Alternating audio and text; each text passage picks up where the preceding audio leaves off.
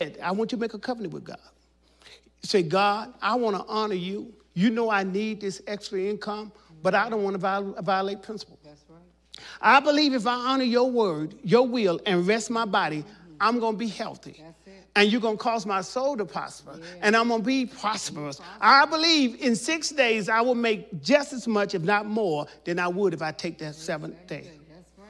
When you make that, you tell God, I'd rather lose than, watch this, not follow your, your will for my life. Watch God. I'm challenging you.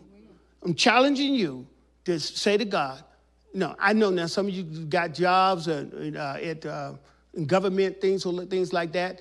Uh, I know when crisis come, you have to do all that kind of work. But this, we, we're talking about a lifestyle of working. Yeah. You must decide that you're going to put your trust in God. That's right. You must decide. You can say, God, I have to work seven because I don't trust you. Or you, you say, God, I'm going to work six because, because I do. That's right.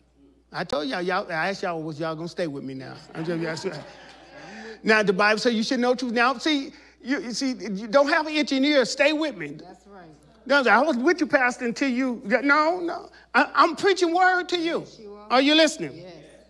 So, uh, fatigue and illness, chronic neglect of our bodies through poor diet, lack of exercise, or overwork can lead to illness and fatigue, making us less effective in fulfilling God's calling. Mm-hmm. Wow. Amen. You're messing up your immune system. Mm-hmm. Spiritual weakness, physical exhaustion can impair our ability to pray, read scriptures, and serve others. Mm-hmm. Now you know how many times you went to sleep praying. I ain't got you reading the Bible. You're reading the Bible so you can sleep. Listen, you gotta understand that ain't the will of God for you. God want to communicate with you, not help you doze off. Uh, it's the third thing, it opened doors to sin.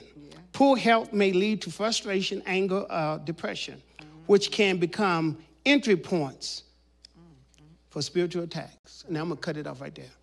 Entry, entrance points.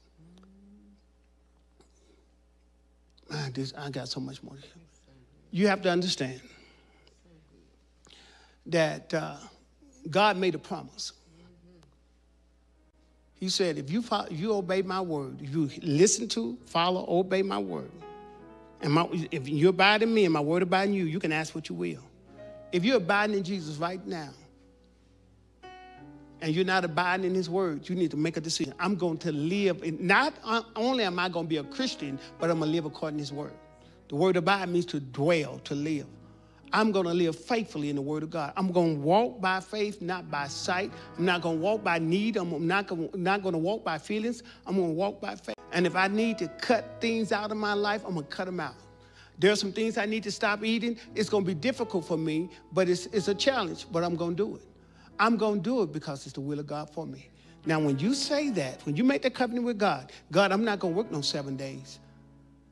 I'm going to work six or less because I trust you. When you make it up in your mind, that's what you're going to do. You're opening yourself up to receive what God has for you. If you I say, Lord, I want this sickness and disease in my body. I don't want it in my body.